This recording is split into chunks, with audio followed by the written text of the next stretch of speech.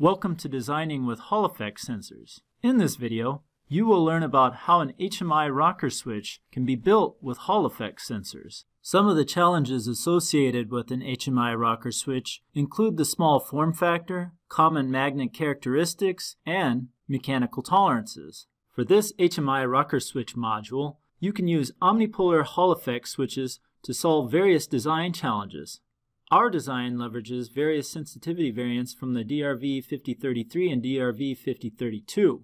DRV5033 has a wide supply range between 2.5 volts and 38 volts and is available in an automotive qualified package. DRV5032 is a low power part with a typical 1.06 microamp supply current and offers multiple sensitivity variants, including one with an operating point as high as 47 milliteslas. To start our design, we begin with the system function and where it is housed.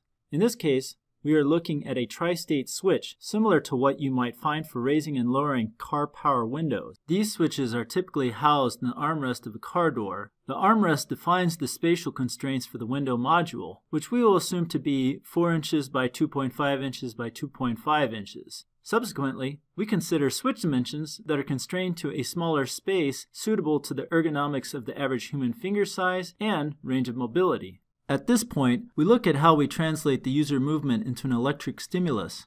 Our implementation will leverage two omnipolar switches. When the user moves the rocker sufficiently down to the right, the right magnet triggers the BOP threshold, which moves the window down. Then, when the user pushes down sufficiently far to the left, the right BRP and the left BOP are triggered, moving the window back up.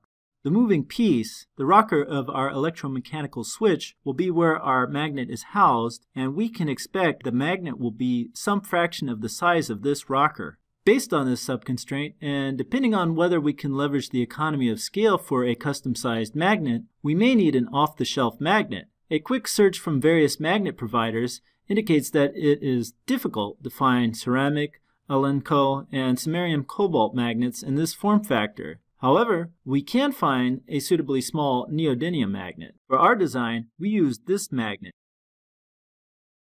Upon selecting the magnet, we set a design goal of our magnet triggering our Hall effect switches BOP before state 1 is reached, as well as triggering BRP before returning past state 2.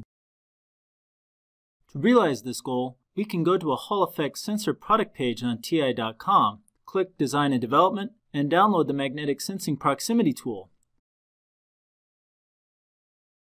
After opening the tool, we can select magnet movement, shape, and orientation. Subsequently, we can enter the magnet dimensions and the relevant displacement values we would like to try in our design. Then, we can put in the operating voltage and select a device of interest, in this case, the DRV5033 FAQ-DBZ.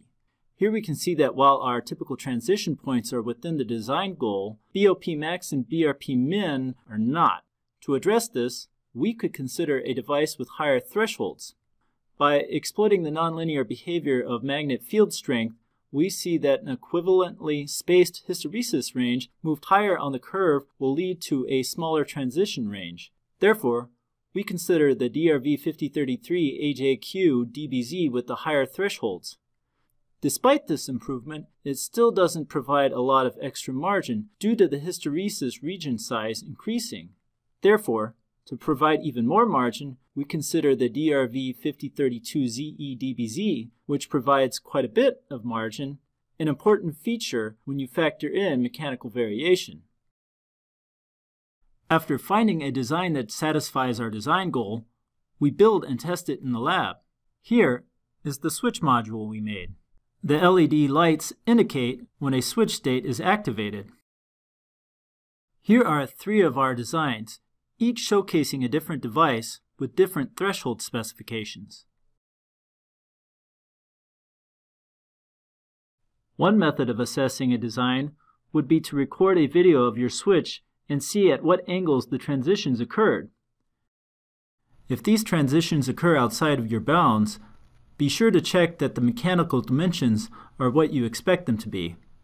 This concludes our demonstration. To learn more about how to use Hall effect sensors for your rocker switch design, we have linked some resources with the video. Additionally, The tool presented in this video can be found under the Magnetic Sensing Proximity tool on TI.com. Please visit ti.com backslash Hall effect to find more resources and tools.